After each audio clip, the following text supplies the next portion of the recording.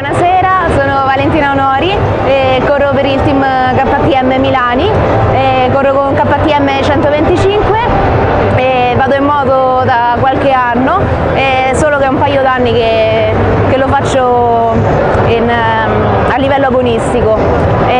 Oggi siamo qua, sono fiera di partecipare a questa, a questa manifestazione, problemi lavorativi non sono tanto, non sono tanto allenata ultimamente, però recupereremo presto. E io sono un militare, sto nell'esercito italiano da, da, qualche mese, da 4-5 mesi. Ho finito a luglio le scuole superiori e ho 20 anni. E invito tutte le ragazze a non aver paura perché no, non aver paura soprattutto di sporcarsi o di rompersi le unghie perché è lo sport più bello del mondo.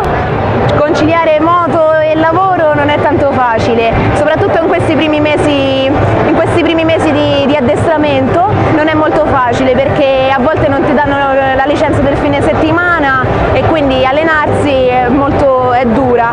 E per fortuna l'esercito eh, ci fa allenare in maniera fisica, quindi con la corsa, addominali e flessioni e questa è una cosa buona. Eh, però eh, bisogna comunque andare in moto perché altrimenti non, non rendi. questi mesi sono un po' difficili però di avere verso maggio una, una, stabilità migliore così posso partecipare anche al campionato italiano e non vedo l'ora. A parte in questo caso che è capitata una gara di sabato spesso sono la domenica mattina, anche gli allenamenti sono di domenica mattina presto. E, infatti questa vita diciamo, richiede un po' di sacrifici che però ripartono delle cose bellissime, ad esempio non uscire il sabato sera come fanno tutti i tuoi amici, fare tardi le 3, le 4, invece ecco io alle 10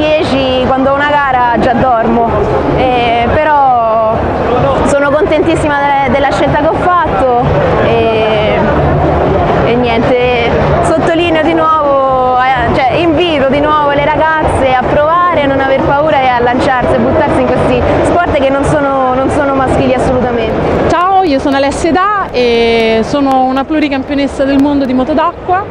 Ho corso 20 anni con le moto d'acqua e da qualche anno ho scoperto le moto da enduro. Questa è la mia moto, è una KTM come potete vedere, è una 250 e diciamo che ormai è la mia compagna di avventura del sabato e la domenica. E qualche, qualche suggerimento a chi si vuole avvicinare al mondo dell'enduro è di avvicinarsi senza problemi perché è molto più facile di quello che sembra e di cominciare magari con cilindrate un po' più piccole. Come donna che fa enduro, che può essere la caratteristica più particolare, vi dico subito che tutti pensano che sia una cosa da uomini, invece no. E esattamente la forza è relativa per fare per fare questo sport, anzi in realtà serve molto equilibrio di cui noi donne siamo ben dotate ed è molto facile per noi donne crescere velocemente su una moto perché in genere ascoltiamo molti consigli a differenza dei maschietti e abbiamo anche la fortuna di essere anche molto agili, quindi anche questo aiuta per fare enduro. Nella fattispecie una moto da enduro normalmente un po' alta, quindi magari l'unica difficoltà per noi donne è che magari possa essere leggermente alta la sella, però in genere aiuta magari a abbassarla un po' o comunque si possono tarare le sospensioni per la propria statura. E paradossalmente da donna l'enduro lo vivo molto bene perché in genere ormai non siamo poche siamo tante e in genere ci diamo anche parecchio una mano. La cosa bella dell'enduro è anche questa, che c'è un bel mutuo soccorso facendo, facendo questo sport e ci si diverte anche tanto. Ci si allena e si passa una giornata in compagnia e anche a contatto con la natura, che è una delle caratteristiche salienti dell'enduro, cioè fare uno sport rimanendo a contatto sempre con la natura ed esplorando posti nuovi che normalmente non avreste modo di conoscere se non foste campioni di mountain bike o anche campioni di trekking. Allora, io di lavoro faccio la rappresentante, però aiuto il mio compagno il e domenica che è una scuola di enduro ad avvicinare neofiti a questo sport. La cosa strana è riuscire a conciliare lo sport con uh, il mio lavoro e anche con la vita da mamma, perché sono anche mamma di due bambine e eh beh, si fa, nel senso che ci si organizza con molti sacrifici, come potete immaginare, però basta diciamo, una, diciamo una, una, forte determinazione aiuti a fare anche questo. Riusciamo a organizzarci con famiglia, babysitter e chi altro a trovare il tempo necessario per riuscire ad andare in moto. Purtroppo l'enduro necessita di parecchio tempo, però è una cosa che si fa. Paradossalmente sembra strano dire avvicinarsi a uno sport, come faccio ad avvicinarmi a uno sport se non ho la moto, se non ho l'attrezzatura necessaria? In realtà facciamo anche questo, aiutiamo le persone che non hanno mai provato questo sport il sabato e la domenica a provare uno sport senza avere l'attrezzatura, dandoti tutto e facendoti assaggiare il mondo dell'enduro futuro. È una cosa che noi facciamo con molta passione perché è la nostra, è la nostra vita. Per me la moto è la passione da quando ero piccola, quindi in realtà è una cosa che faccio senza neanche rendermi conto, lo faccio e basta, però basta organizzarsi, un minimo di, eh, diciamo, di ausilio da parte delle famiglie e ci si riesce. Vi invito tutti a provare, magari anche con la mia moto, una KTM 250 e spero di vedervi presto.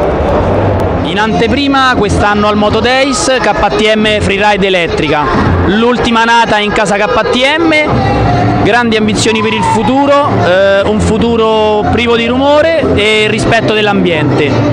KTM Freeride elettrica nelle tre versioni, quindi omologata per uso stradale, per il fuoristrada e anche la versione senza targa per eh, circuiti chiusi. La moto ha, è dotata di un pacco batteria che garantisce un'autonomia di circa un'ora con comunque la possibilità di scegliere fra tre mappature motore che chiaramente vanno a incidere poi sulla durata della batteria. Le caratteristiche tecniche sono al pari di una freeride a motore, quindi con forcelle VP da 43 mm, sospensione posteriore VP, quindi con le stesse possibilità che ci offre una moto a motore, ma nel rispetto dell'ambiente. La batteria ha tempi di ricarica estremamente rapidi perché abbiamo l'80% di carica nei primi 50 minuti, quindi è anche veloce Ehm, il caricabatterie da portare dietro si può attaccare a qualunque presa di corrente, non ha necessità di prese industriali ma va bene anche la presa di casa. Il futuro dell'enduro forse probabilmente sarà l'elettrico. Elettrico non disturba, non inquina e ci permetterà di andare in posti ad oggi off limits per le moto a motore. Indicativamente il costo di ricarica oggi è calcolato in circa 50 centesimi, quindi anche un occhio alle tasche visto il costo della benzina che è in continua lievitazione io direi che non vi resta che andare presso la rete concessionari KTM dove è possibile acquistare già da oggi la freeride elettrica, il costo è di circa 11.000 euro più i costi di messa in strada.